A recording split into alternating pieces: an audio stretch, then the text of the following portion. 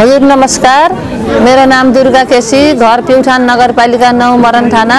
मेरो उद्योगको नाम चाहिँ झिमरुक हर्बल साबुन उद्योग।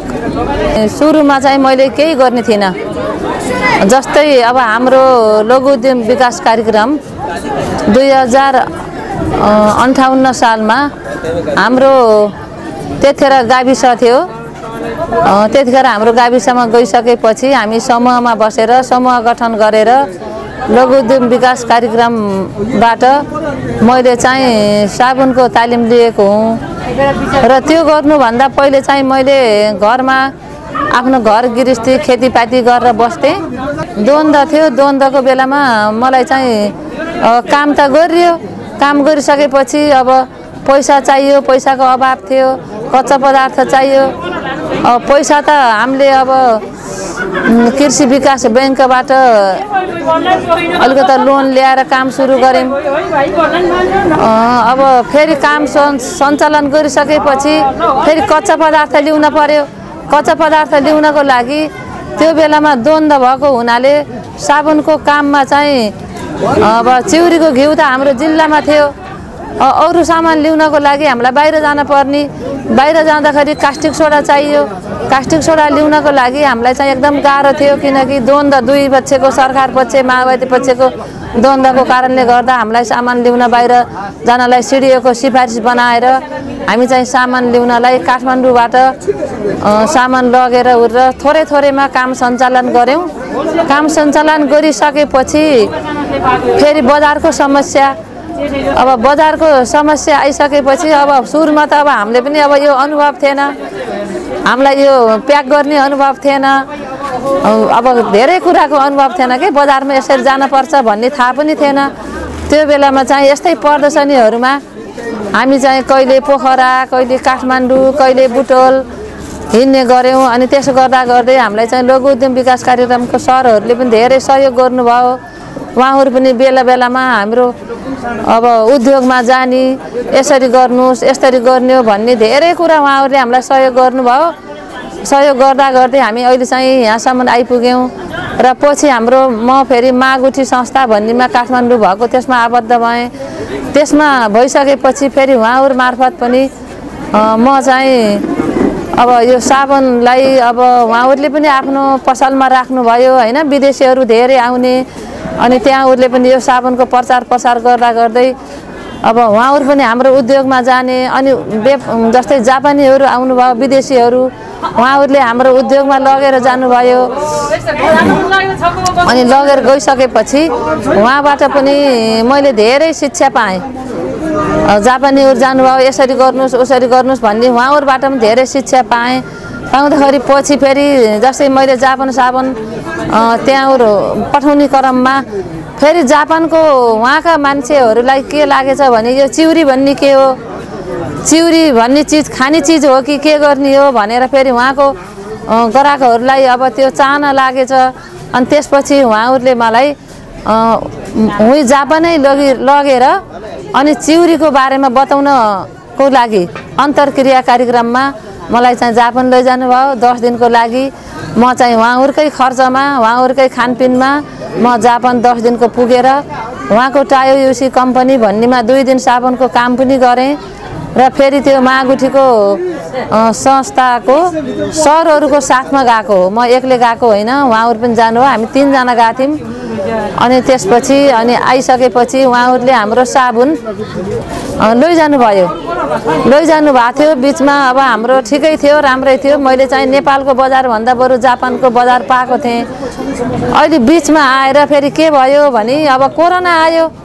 कोरोना आएको कारणले अब यो पनि त्यत्तिकै रोकियो अहिले उता पनि जाँदैन। र मैले फेरि यता जस्तै अहिले अब गाउँपालिका नगरपालिका भन्ने छ नि यो आइसकेपछि मैले पनि यस्तै प्रदर्शनीहरूमा म पनि यो प्रथम भएको पुरस्कारहरू पनि धेरै पाएको छु।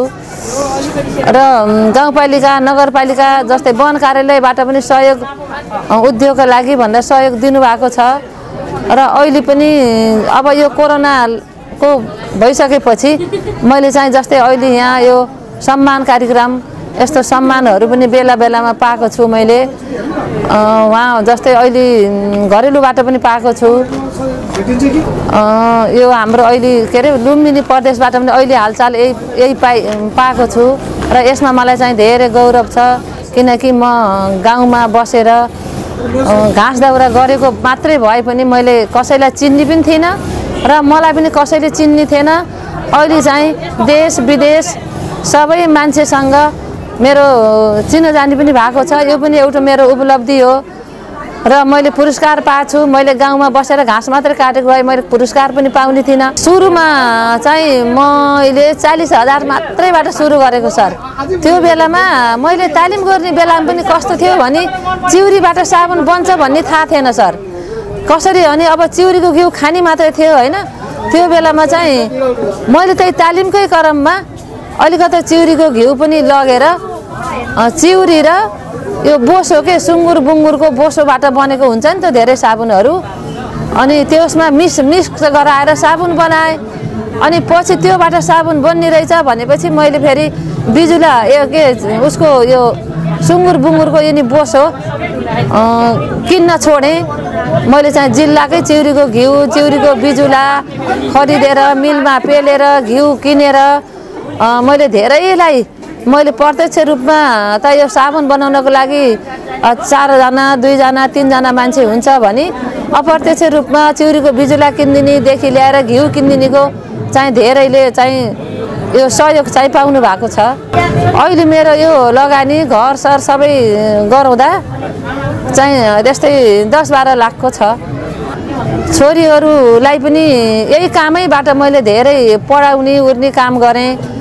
तिनटी छोरी उहाँहरूको बिहा भयो एउटा छोरा छ होइन बुहारीहरू यिनीहरूले चाहिँ अरू नोकरी गर्छन्। अहिले यसमा चाहिँ अहिले म मात्रै लागिरहेको छु। चिउरीको साबुन प्रयोग गर्नाले फाइदा के हुन्छ भने जस्तै अरू साबुनहरूले नुहाउँदाखेरि छालालाई कक्रक्क पार्छ नि एकदम समाएको जस्तो गराउँछ भने यो साबुनले नुहाउँदाखेरि छालालाई कक्रक्क पार्दैन शरीरमा फुर्सोपन आउँदैन अनि हल्का छालालाई मसाइलो गराउँछ। अनि यिनी जुन यो मुखमा आएको हुन्छ नि बिबिराहरू त्यसलाई पनि बिस्तारै निको गर्छ। र यो चाहिँ अब यहाँहरूले प्रयोग गरेर पनि थाहा पाउने कुरा हो होइन। मैले त आफ्नो सामानलाई यो राम्रो छ यस्तो छ त मैले भन्छु जो। चिउरी भन्ने एक प्रकारको रुख हो। सानो रुख हुन्छ ठु पछि ठुलो हुँदा हुँदा त्यो त्यो ठुलो भएको त्यस्तै तिन चार वर्षपछि त्यो फल्न लाग्छ। फलिसकेपछि त्यसमा पहिले फुल हुन्छ। फुल हुन्छ त्यसको फुलको झोप्पा हुन्छ। झोप्पामा त्यसको रस लाग्छ। अनि त्यो चिउरीको रसको लागि कति मौरी पालनहरू पनि धेरै जानुहुन्छ कि हाम्रो गाउँमा हाम्रो जिल्लामा चिउरी प्रशस्त छ। यो जेठदेखि सुरु भएको साउनसम्म हुन्छ। बर्खाको समयमा चिउरी टिप्न पर्ने भएको पहिले चाहिँ एकदमै टिप्नुहुन्थ्यो। चिउरीबाट यस्तो तिहार दसैँमा रोटी बनाउने अनि मकै भुटेर खाने रोटी पकाउने चलन थियो अनि फुटेको के? जस्तै हात खुट्टा फुट्यो भने अनि चिउरीको घिउ लगाउने त्यसले चाहिँ मसाइलो मसाइलो गराउने त्यस्तो थियो। र अहिले पनि त्यो चलन छ। अहिले चाहिँ के भएको छ भने जस्तै अब हाम्रो गाउँघरमा पनि के भइसक्यो भने मान्छे धेरै विदेशहरू जान लायो नि यो विदेश जान लाइसकेपछि चिउरीको बिजुलाहरू टिप्न छोडे मान्छेले। खेर जान लाग्यो। अहिले चाहिँ यिनी बाहिरका धेरै चिज आएको हुनाले चिउरी अब तेल पनि बाहिरकै आछ के आछ के आछ होइन बजारमा। त्यो तेलभन्दा हाम्रै चिउरी राम्रो हो शुद्ध। कसरी गर्न पर्छ भने चिउरीको अलिकति लामो प्रोसेस छ कि? बर्खाको समय चिउरी टिप्न पर्यो त्यसलाई पखाल्न पर्यो घाममा सुकाउन पर्यो। अनि पछि फेरि घिउ निकाल्ने बेलामा ढिकीमा कुट्न पर्यो। ढिकीमा कुटेपछि पहिले चाहिँ काठको कोलमा पेल्न पर्थ्यो। त्यसरी काठको कोलमा त्यसलाई पेलेर घिउ निकाल्ने चलन थियो। अब त्यसको लागि मान्छेलाई धेरै गाह्रो हुन लाग्यो। अब मान्छे त धेरै काम गर्न छोडिसके। त्यो हुनाले अब चाहिँ चिउरीको मिल राखेपछि बिजुलाहरू टिप्नुहुन्छ कि यहाँहरूले भनेर मैले चिउरीको बिजु मिल पनि राख्दैछु। किनकि चिउरीको बिजुला मात्रै टिपेर त कुट्न पर्दैन। त्यसलाई चाहिँ बिजुलै पेलिदिन्छ। अ, भन्ने म यो प्रोसेसमा पनि अहिले गइरहेको छु। गर्न सकेको थिएँ। गर्छु पनि अझै पनि गर्छु। त्यो माग आएपछि मैले गर्न सक्दैन भन्ने होइन। किनभने मैले त धेरैलाई रोजगारी दिन सक्छु नि त। कति चाहिँले त रोजगारी नपाएर कति विदेशमा गएर मर्नु भएको छ दिदी बहिनी दाजुभाइ होइन? त्यस्तो यस्तो रोजगारी हामीले दिएर उहाँहरूलाई केही न केही सहयोग गर्न पाए त म त धेरै खुसी हुन्छु नि त सर। धन्यवाद। मलाई चाहिँ दुई चार शब्द बोल्ने मौका दिनुभयो। मेरो उद्योगको बारेमा बताउने मौका दिनुभएकोमा यहाँहरूलाई पनि धन्यवाद।